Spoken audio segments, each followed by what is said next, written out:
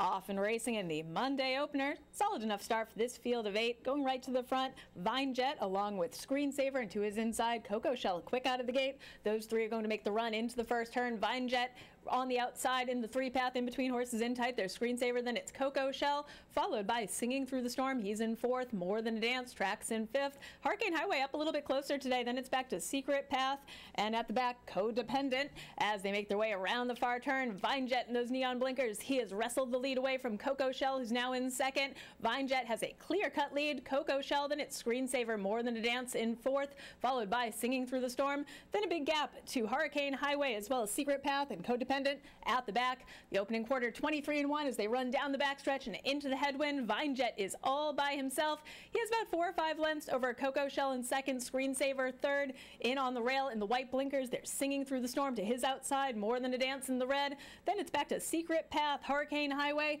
and still at the back all by himself, codependent, half 47 and 3. VineJet continues to lead the way, saying catch me if you can as they make the run into the far turn. VineJet, his lead is diminishing though. Screensaver now up to second and he's beginning to make his move, gobbling up some ground. Coco Shell, he's in third and losing some ground. Hurricane Highway from the back, he's been unleashed and now he is making a big rally as they make their way around the far turn.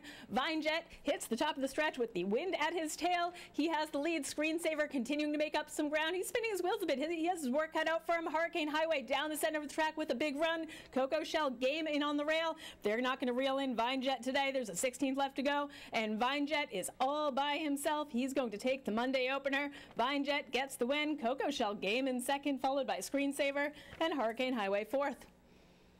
Final time 144 and 2. Hold all tickets until race one is official.